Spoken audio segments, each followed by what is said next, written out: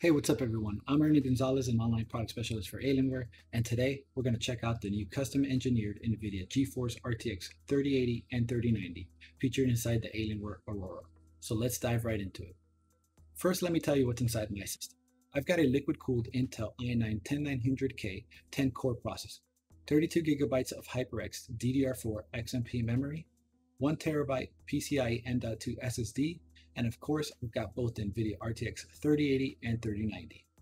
For network connectivity, I've got Killer Ethernet, Wi-Fi 6, and Bluetooth 5.1. All right, let's get right into this. Our engineers had some fun with this custom design. Based on NVIDIA's second-gen RTX architecture, Alienware's custom graphics design is built with cooling, airflow, and efficiency in mind. With completely redesigned thermals included in both the RTX 3080 and 3090, this is Alienware's heaviest graphics card to date. With approximately 1.4 kilograms of thermal materials, it is made up of our largest diameter heat pipe design, with quad 10 millimeter copper heat pipes and integrated vapor chambers.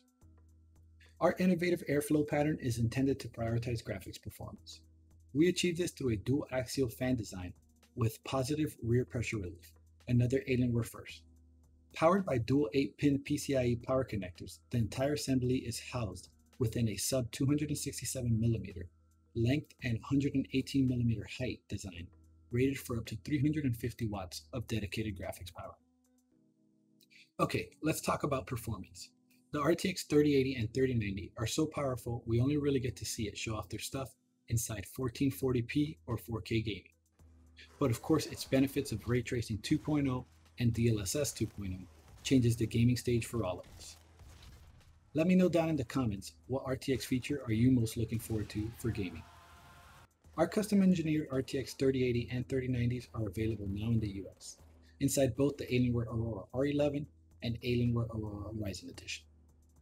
Well, thank you guys for tuning in to the Alienware YouTube channel. I'm Ernie Gonzalez, and I hope you enjoyed the video featuring our custom designed NVIDIA RTX 3080 and 3090s. Don't forget to like and subscribe and ding that bell to catch more content just like this. Thank you all again for tuning in. I hope you stay safe. Until next time, I'll catch y'all later. Peace. Thank you.